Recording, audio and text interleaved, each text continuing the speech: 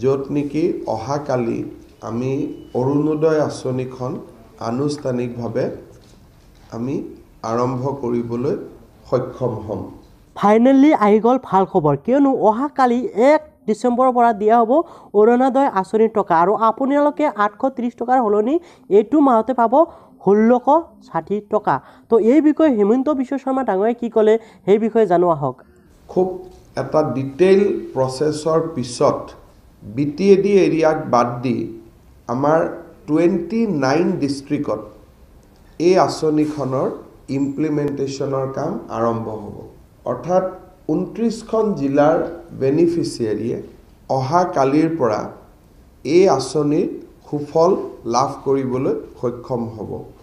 Already S M S যোগে এই ওঠৰ লাখ মানুহৰ এছ এম এছলৈকে মেছেজ গ'ল যে আপুনি অৰুণোদয় বেনিফিচিয়াৰীৰ বাবে নিৰ্বাচিত হৈছে। অহাকালি মাননীয় মুখ্যমন্ত্ৰী ডাঙৰীয়াই আমিনগাঁও পেৰেড গ্ৰাউণ্ডৰ পৰা এই অৰুণোদয় আঁচনিখনৰ শুভাৰম্ভণি কৰিব। অহাকালি আমি যিটো পুঁজি দিম বেচিকেলি এইটো আমি নৱেম্বৰ মাহৰ পুঁজি দিম। তাৰমানে they are entitlement of the month of November. গতিকে ডিচেম্বৰতে তেওঁলোকে দুবাৰ পইচা পাব। এক তাৰিখে আঠশ ত্ৰিছ টকা পাব। কিন্তু ডিচেম্বৰত যিটো পাব লগা পইচা সেইটো আমি সদায় মাহৰ শেষত দিম। সেই হিচাপৰ পৰা তেওঁলোকে ছাব্বিছত ছাব্বিছ তাৰিখে আৰু এটা পইচা পাব। তাৰপিছত প্ৰত্যেক মাহৰ শেষৰ সপ্তাহত তেওঁলোকে আঠশ ত্ৰিছ টকাটো পাই পাই গৈ থাকিব। একৰ পৰা ছয় তাৰিখৰ ভিতৰত একাউণ্টত পুঁজিটো জমা হ'ব। ঠিক তেনেকৈ ছাব্বিছৰ পৰা একত্ৰিছ তাৰিখৰ ভিতৰত জমা হ'ব ডিচেম্বৰত জানুৱাৰীটো ছাব্বিছৰ পৰা একত্ৰিছ ফেব্ৰুৱাৰীত বাইছৰ পৰা আঠাইছ আৰু মাৰ্চত ছাব্বিছৰ পৰা একত্ৰিছ। এটা অৰুণোদয় কল চেণ্টাৰ থাকিব যিসকলৰ বেংক একাউণ্টত এই পুঁজিটো জমা নহ'ব কিবা কাৰণত তেওঁলোকে ফোন কৰি সেই কল চেণ্টাৰত জনাব পাৰিব। প্ৰথম পুঁজিটো পোৱাৰ পিছত এখন চিঠি লৈ আমাৰ ডি চি কাৰ্যালয়ৰ পৰা সকলো মানুহৰ ঘৰলৈকে এবাৰ এবাৰ আমি যাম টু পাৰ্চনেলি ভেৰিফাই যে পুঁজিটো আপোনালোকে পালে নে নাই। এবাৰ আমি ফিজিকেলি তেওঁলোকক এলাৰ্ট কৰিম যে আপোনালোকৰ একাউণ্টত পুঁজিটো জমা হৈছেনে এবাৰ চাই দিয়ক।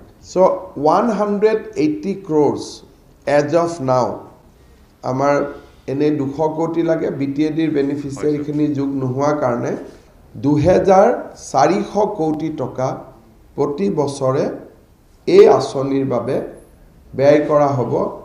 আৰু সেই দৃষ্টিকোণৰ পৰা স্বাধীনোত্তৰ অসমত এইটোৱে আটাইতকৈ ষ্টেট গভৰ্ণমেণ্টে লোৱা ডাঙৰ স্কীম ইয়াত এটা প্ৰত্যেক বছৰত এটা মাহত অৰুণোদয় মাহ হিচাপে আমি পালন কৰিম। য'ত মানুহে এক্সিট ৰুট পাব। অৰ্থাৎ অৰুণোদয় লগো প্ৰত্যেক ঘৰত আমি লগাম। কিছুমানৰ ঘৰত চাকৰি হৈ গ'ল। কিছুমানে এখন ট্ৰেক্টৰ কিনি ল'লে। চ' আমি এক্সিট ৰুটো মানুহখিনিক দিম যে মই অৰুণোদয়ৰ পৰা এতিয়া ওলাই আহিব খোজোঁ। এইটো নহয় যে একেবোৰ মানুহে সদায় অৰুণোদয় পাই থাকিব। বছৰৰ এটা মাহত অৰুণোদয় ছাৰ্ভে হ'ব আৰু they will get a exit route তেওঁলোকে ওলাই আহিব পাৰিব। আৰু কোনো চৰকাৰী চাকৰিয়াল থকা ফেমিলি বা চৰকাৰী চাকৰিয়ালে যদি অৰুণোদয় আঁচনি লয় সিমান টকা তেওঁৰ দৰমহাৰ পৰা কাটি লোৱা হ'ব। অৰুণোদয় আঁচনিত যদি চৰকাৰী কৰ্মচাৰীয়ে বেনিফিচিয়াৰী হিচাপে সোমাইছে বা ফেমিলি সোমাইছে সেইটো আমাক ইনফৰ্ম কৰিব পাৰিব কাৰণ দুবাৰ দৰমহা দিয়াটো নিয়ম নহয় গভৰ্ণমেণ্ট চ' ফ্ৰেণ্ডসকল আপোনালোকে নিশ্চয় ভালকৈ জানিব পাৰিলে যে এই বিষয়ে হিমন্ত বিশ্ব শৰ্মা ডাঙৰীয়াই কি ক'লে আপোনালোকে নিশ্চয় জানিব পাৰিলে। চ' ফ্ৰেণ্ডসকল আশা কৰোঁ আপোনালোকে নিশ্চয় কথাখিনি জানিব পাৰে ভাল পালে।